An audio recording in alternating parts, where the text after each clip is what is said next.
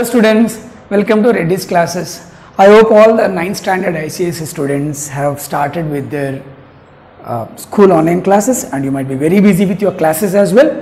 And now I have taken an opportunity to serve you with your English classes as well from our Reddy's classes.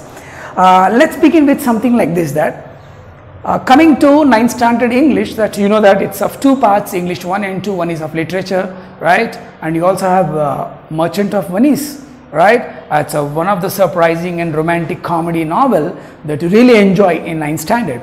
And coming to the English too, that is with uh, you have prose and poetry collections and you have wonderful poetry collections which gives a subtle and meaningful messages to us right? Uh, the main purpose of you know keeping these poems in ninth standard is definitely to deliver a message that you can follow in our daily life and each and every poem that is given in the ninth standard ICSE uh, poetry section very relevant to our modern times especially many of the poems are written some century ago a century old poems which are written some 100 years ago 19th century 18th century as well in the beginning of 20th century as well. Uh, but why they are we are reading these now? Things is because these poems are relevant to some problems of our present times. Now uh, let's start with the first poem of your the 9th standard ICSE English 2 that is the heart of the tree that I would like to say that what do you mind by the heart of the tree? Uh, before starting with the heart of the tree, I would like to say that uh, how many of you really like uh, you know, just watching a big tree in front of your house, uh, which is quite not possible in Mumbai. But if you go to your village side or to your grandparents' village side or countryside, or especially during the summer holidays, you get a bountiful pleasure when you see a big trees in your grandma's yard and you just move and like to sit under the trees, right? and you feel that greatness it's kindness of your grandparents that they arranged all these big trees for you and your forefathers have, might have started this you know plantation in that old house of your ancestors. And your father tells a lot of stories right? So for a quick minute in your old house of your village with the moment you go to a village site you get an immense pleasure a bountiful freedom that is what a nice tree is this which you never experience in a city like mumbai. But right, when you go to your societies also here, when you find two or three big trees, you see that amazing tree and you look with passion at the tree, right? That's your heart that you feel for the tree and you feel the tree is for you, right? You find, you try to connect yourself with the tree, a, a, a, an unexplainable relationship with the tree, right? That's what is put in this poem, the first poem, the heart of the tree, right? Guys, we have come to know about great people on this earth. Uh, why to talk about the people who won Nobel Prize? In India, we know that who started Chipko movement to save the trees from man's, what do you call that? I can't say man's molestation, man's immoral activity of cutting down the trees and disturbing the balance and ecosystem of the nature. Then it was Sundarlal Bahuguna who started Chipko movement and he gave a call to Adivasis and tribal people of India that you go and hug a tree. If somebody is coming and trying to cut a tree, then we will see if he has to cut down the tree, first he has to cut you into pieces. The common tribal people of India got inspired with this call and when the foresters or the Britishers or some of the Indian foresters and they come to cut down the tree, the tribals went and hugged the tree and avoided them, prevented them to cut down the tree. Can we cut a man before to cut a tree? We can't, right? So it's an emotional call that was given by Sundarlal Bahuguna. And there is another man called uh, Forest Man of India, uh, Mr. Jadhav Payeng, a poor farmer, the poorest of the poorest farmer in Assam, who changed a sandy area of aside the other side of the river Brahmaputra into a big forest, hectares, hundreds of hectares of forest was developed by a common man in just three decades. Why I'm telling you all these things? These people have become the hearts of trees by showing their responsibility to the earth, showing their love to the mankind, showing their civic responsibility and giving their love to the neighborhood. And you know, if I plant a tree, I am not planting just a tree, but I am planting a home for birds. I am planting, I'm planting a home for insects. I am planting a home for neighborhood, right? I am planting a beautiful ecosystem. That's what all the poem says. The poem is a, it's, it's very simple words that are used by uh, Henry Cuyler Bernard, American poet and novelist, and he simply writes, but the heart of the tree, he explains about the plantation of trees. So what does it mean, sir? It's just plantation. We all do. The governments always carry these activities every year. Yes, you are right. You are there. But here, the poet has not shown just planting a tree by you or by me is not a common act, but it is a great act. Yes, it looks like a common activity. Planting a tree is a common activity to maintain the ecosystem and environmental balance. We do because governments call us nowadays to do all these activities. But what I say here is that the poet through this poem 100 years ago in 1912 had written this poem and he tried to show that planting a tree is a glorified act. It's a great act. A man who plants a tree is a great man. He is trying to show, the poet is trying to show the activity of planting a tree is a great activity and is a responsibility and as your love towards the nature, neighborhood and to the whole system as well. Right? Now the coming to this poem is a three stanza poem with nine lines each, right? And uh, to say that this is the, what do you call that? The rhyming scheme, as you all know that, the rhyming scheme is A, B, A, B, B, C, C, A, A. Rhyming scheme, it's against to Spenserian style of, uh, what do you call that, uh, scheming system. Now if you see this, the poetry, uh, yes, everybody, if you know the poem, you just, if you read the poem, you can understand. But the beauty of the poem lies the way what the poet conveys us. Telling the story of Bahubali in my style is different, but telling the story from a poet's words on the screen, the Bahubali, is a different skin, right? Because it's all the director who portrays the picture in a live contrast, right? Which the common man can't do, right? In the same way, if you look at the poem, what does a the see that every line starts with a question. What does he plan to plant a tree? He plants a friend of sun and sky. So the question, every stanza is starting with a question. Students, listen this. What does he plan to plant a tree? It's a question. But immediately, the poet himself is giving an answer in the next lines for his own question. So this kind of style is called a rhetorical question or in English, in figures of speech, you call it as a hypophora hypophora. This is kind of, this is called a rhetorical question where the question carries an answer, right? So you see this. Now let's go. The totally, the theme of the poem is that he is explaining the beauty of a tree, the relationship of man with the nature, right? The importance of a tree and the greatness of a man who plants these trees for neighborhood and as his, as his civic responsibility. Now let's go to the poem now. What does he plant to plant a tree? He plants a friend of sun and sky. He plants the flag of breezes free, the shaft of beauty towering high. He plants a home to heaven anigh for song and mother croon of bird, in hushed and happy twilight heard, the treble of heaven's harmony, these things he plants who plants a tree. So he says that, what does he plant? He plant all these things. So it's a question put by the poet himself and this is the answer given by himself is called hypophora style of poetry where the poet put the question and gives the answer himself. Now let's go the details of the first stanza. The first stanza totally explains the importance of the trees by telling that how important a plant is in man's life. Not only for man, for all the creatures. What does he plant? Who plants a tree? Yes, he plants a friend of. He is not just, is just not planting a tree, guys. He is planting a friend of sun and sky. So you call that, sir? Yes, it's a friend. A tree is a friend to sun and sky, right? How can you say so that, sir? You know, he plants the flag of breezes free because as the plant grows and grows like a tower, grows up and as if it want to touch the sun and sky as if it is their friend. right? And it makes a sun friend to us because the sun, what, what does a tree do after growing up to the sky, high in the sky?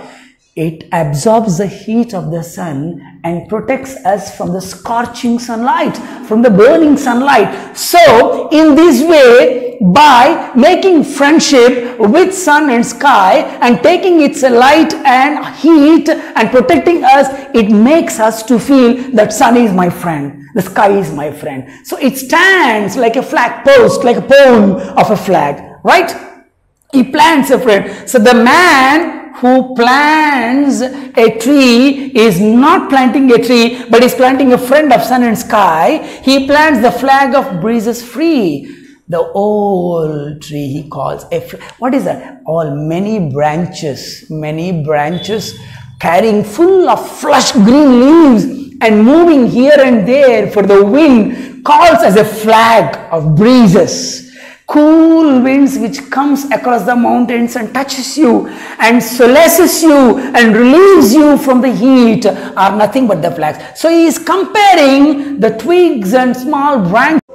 So this is what I mean to say. He plants the flag of a tree. So the branches having lots of leaves are compared to flags and the shaft of beauty what is the shaft, the trunk of the beauty, the beautiful big tree growing like a flag and post, the pole which is carrying the flags. So all these branches and a trunk.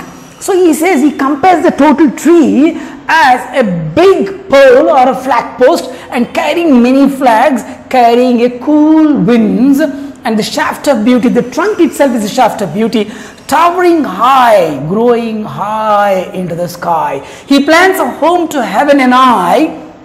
You know what is the man planting here? This man, he plants not a tree, but he is planting a home, a home to heaven very close.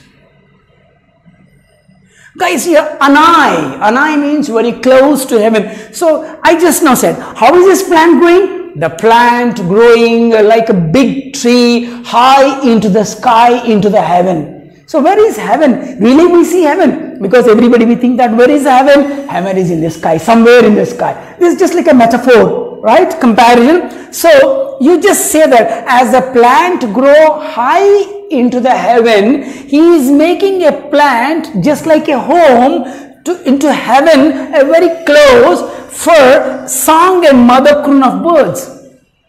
What, to whom is making a home? The poet here by planting a very big tree which is close to heaven, very close, an eye to heaven and is making a big home, right, for birds.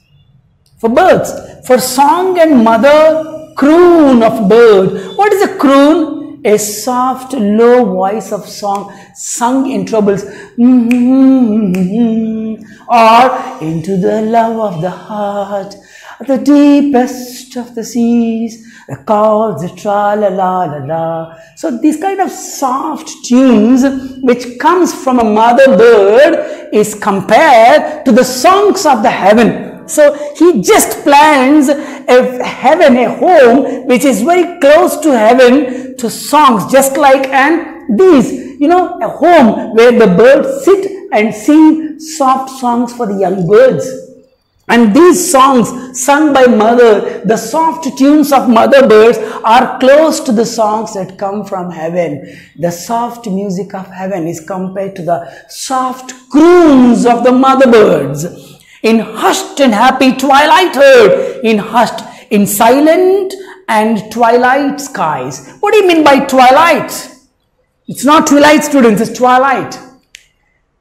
The soft time between the daybreak, when the sun rises, first at the 4 o'clock, the day breaks and slowly you see the horizon slowly 6 o'clock 7 o'clock and then at 8 o'clock you see the full sunrise right? The time before the day breaks and sun rises completely is called twilight. Or the time between the sunset starts and total night falls is called twilight. So in between this twilight you hear you find a total nature is silent dead silence. In that silence, you see the mother croon songs for a bird, young birds, which is comparable to the songs of the celestial songs which come from heaven. Right?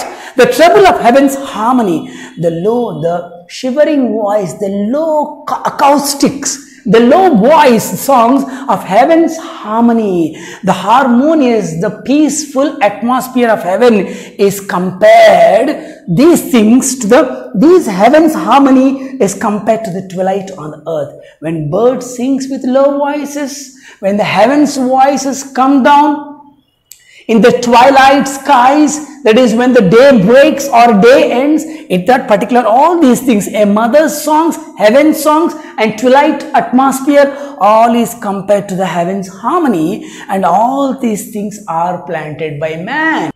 All these things are planted by man. So don't think that the first stanza says that what does he plant? He plants a friend to sun and sky. He plants a habitable home to birds and other creatures. He plants a happy heaven to all of us. In this way, he says that what does he plant? The poet says that he is not just planting a plant tree, but he is planting a friend to all of us. So by this stanza, he explains the importance of trees and the beauty and the holistic nature of the nature by using the words "and I, by using the words twilight, by using the words heaven, all these words tell how beautiful and holistic the nature is. Now let's go to the second stanza.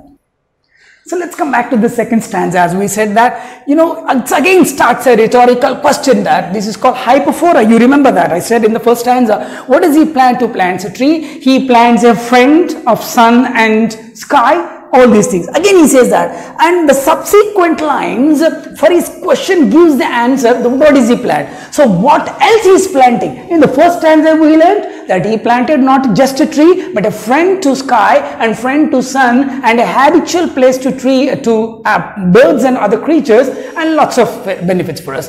And now he says that he plants cool shade and tender rain cool shade and soft rain. So he is not just planting a tree. These plants in future grows and gives us shade. These plants in future grows into trees and brings rain by attracting the clouds with the lowest temperatures as per the science. You know that well, right? So he says that he is not planting tree. He is planting future rains. He is planting the tender rains, right? And seed and bud of be. Guys, seed and bud and fruits. You know, these, these plants when they grow, do they sit quietly and sleep like us and you in pandemic corona times? No. A tree always keeps growing and working till its last breath or till you cut it down. Right? A seed tree here keeps on growing. Once it grows and matures, starts producing seeds, buds, fruits and these fruits come out and once you eat or the birds eat, the fallen down seeds, they fall down and they grow. We all, the man who planted this tree, and the people like us who saw these trees growing, we all die after some time. But these trees, they never perish. They continue their growth by with the help of seeds and buds. Again, new trees are grown again up into the sky to like a friend for the sun and sky, providing a habitual flags and habitable place for the trees. So for birds, right? Like this, they continue in the form of seed and buds and in the days to come, in the days to be, they all keep growing though we all die. And years that fade and flush again. Years come and pass by, fade, they die. All these present times they die and become past. But the trees grow again in the form of seeds and buds. He plants the glory of the plain. Hey guys, he is not just planting the tree, he is planting the greatness of the plains. You know, if I plant 10 seeds, if I plant just 10 seeds in a plain area, where there are no trees at all, it's just looking like a dry, dead desert. But if you see the place after four or five years, you will see the grown up trees and even a long, dry pastures can be made, it can be made into a small forest a heaven-like forest where all the birds start coming and living and men and women and people come and start taking the fruits and animals come and live over there. Right? So a man who plants trees is not planting tree but he is planting the greatness of changing a, a dry plain into a lush green plains. So he is just plant, planting not a tree but a lush green greatness of a plains by changing a desert areas into a plantation right? And he is planting the harvest of a coming age. He is not just planting a tree but he is harvesting he is planting the harvest, the crop that comes, that you reap a crop in the coming ages. I may not see and you may not see, but the next generation, they will definitely enjoy the harvest and they uh, look at the gigantic beauty of the trees and they enjoy the vegetation and they enjoy the harvest because they exactly enjoy the benefits of the trees. The joy that unborn eyes shall see. That's what I said. The unborn eyes, guys. What a beautiful word here. The children who are yet to be born in the future. I plant a tree, but I might die. My children may see, but my, my children may die. But even their children who are unborn, who are yet to be born, not yet open their eyes. Guys, unborn eyes. What a beautiful figures of speech. Unborn eyes shall see. Alright, These things he plants who plants a tree. So, what is he planting in the second stanza? He is planting not a tree, he is planting a cool shed, he is planting a drain, he is planting seeds and buds and he is planting again which grows again and again. He is planting the glory of the plain, he is planting a lush green forest, the future forest. He is not just planting a tree, he is planting the future forest and is just planting the forest heritage. What is heritage? That you inherit from a, a, building or a property that you get from your father is heritage or your you inherit a property you know in this country we have a great monuments like palaces in Rajasthan, Ashoka Pillar, Nalanda, Nalanda University 2000 years old, Takshila University, the South Indian temples and what do you call that? The heritage that you see, the heredity, the uh, Saptagiri, what is that, that uh, what do you call this? Sahyadri Hills, right? The gods, all these are the ancestral property we inherit. This heritage, these trees which is planting is a heritage we are getting, right? And we all shall see that these things he plants who plants a tree, right? So remember that this stanza explains the importance of planting trees. The stanza one explains the importance of trees and the relationship and here in second stanza explains the importance of planting trees, you get all these benefits, right? Let's go to the second, third stanza, the final one. Let's come to the third stanza, students. And the third stanza again starts, as we said that, the literary device, that hypophora, that it starts with a rhetorical question. What does he plan to plant a tree? He plants in sap and leaf and wood the leaves, muzzle of the plant and the wood of that is the future wood and the future leaf everything is planting and this is useful for all of us in love of home and loyalty. Why does he do all these things? Man, that man who is planting tree, he is doing with loyalty, obedience. Yes, I have to be, I have to be very honest and I have to show my responsibility that is a loyalty, obedience to this. Because if I am born in this house. For example, you are born to your parents, so you have to show loyalty and love to your parents, right? If I am working for some office, I have to show loyalty to my college or my school. In the same way, as he got life on this earth, as he has been enjoying, the poet has been, and or the man who is planting trees has been enjoying the fruits and seeds and a lot of wood and he built his house probably with the wood of a tree. So you want to give back to this atmosphere, to this ecology, to this environment. So with lot of loyalty to this earth because this mother earth gave me plants, trees, fruit, shelter and an ecological balance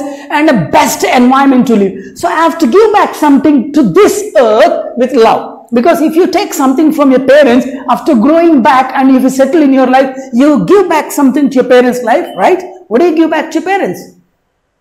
Your love, your care, right? Sharing and now you give caring, right? The same policy, sharing is caring. So he plants in sap and leaf and wood and in love, with great love on this earth.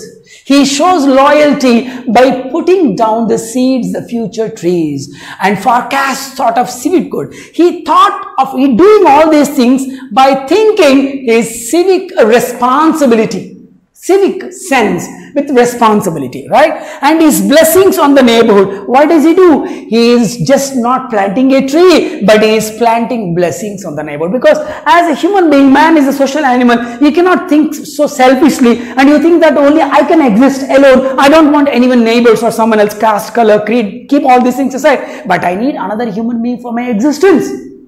Right? We all need one another. So for his neighbors, he is showing his blessings. He is planting not a tree, but he is planting blessings. Who, who in the hollow of his hand, in the hollow of his hand, is holding that love. He is holding the responsibility. He is holding that wood of future and that loyalty to the earth. He is holding hollow in his hand, holds all the growth all of our land. So whoever, whichever the man, whoever the man is planting a tree, he is holding our future. He is holding our future generations from sea to sea because he knows that a nation's growth, a nation's growth depends on the trees. From sea to sea, from end to one end of the oceans, deep into the borders of the country, you see that a nation's strength lies, a nation's growth lies in the growth of trees.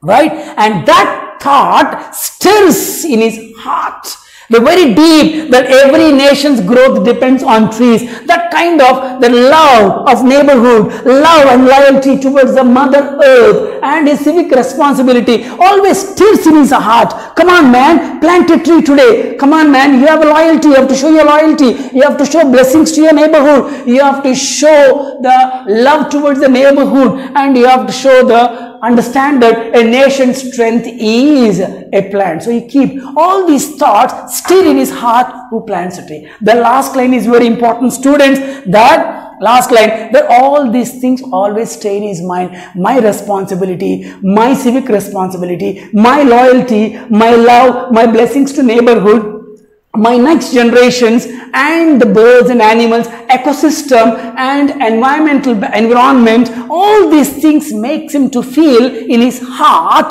deep and that's why he plants a tree. You can find that everywhere the his the, the he and h are capitalized. They're written capital letters. It shows that he is the man who plants a tree for all of us and for future generations is just like a godly activity so he is compared to God and is it is capitalized telling that the man who plants a tree is all powerful and he is a destiny maker for us. So we have to get inspired from this simple poem with simple words but they give a lucrative, attractive and expressing meaning about the future generations but understand one thing, why this poem is relevant to nowadays, sir. Yes, rapid industrialization, urbanization makes at all to the environment and best of the future by just neglecting everything. So to make a message to all of this, this is poem is an all-time message, all generation message. Though written in, published in 1912, still this poem is relevant to the modern times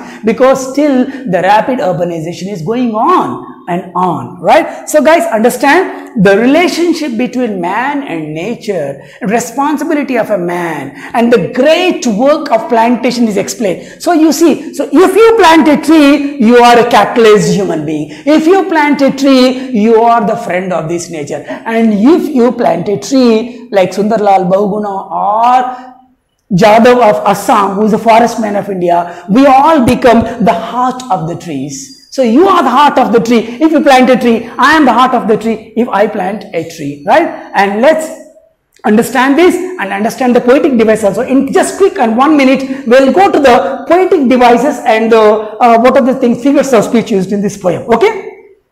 So guys, let's see the figures of speech that some literary devices that were used in this are common there were nearly 10 or something like that but overall the major figures of speech that were in the 9th standard ICSE I'm going to discuss that now here. We see alliteration. You can see that alliteration is repetition of you know the sounds that is per implant per implants you see this repetition. This repetition is called alliteration but repetition of uh, vowels and repetition of consonants is different. You know the assonance right? And now you can see that metaphor a direct comparison comparison flags what are flags Comparing the branches to flags are nothing but metaphors. Comparing the shaft, that is the shaft, the trunk of the tree to a towering tower is called a metaphor. Now comes the metonymy. What is metonymy?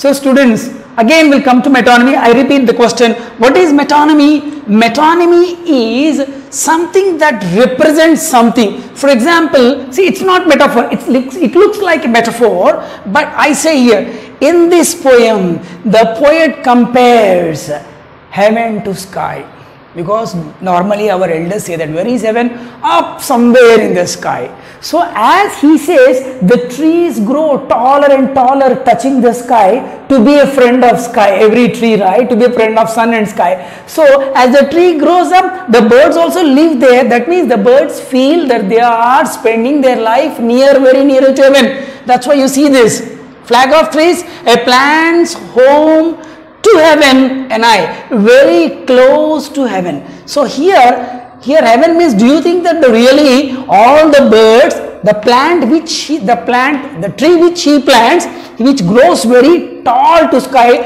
and where the birds sit on the top of that and croon, sing a song, do you think that the birds sing at heaven? No, that means the tree, the tree is very tall and the bird which is crooning for its young bird sitting on the top of the branch of the topmost apex of the tree which looks like as if it is touching the sky.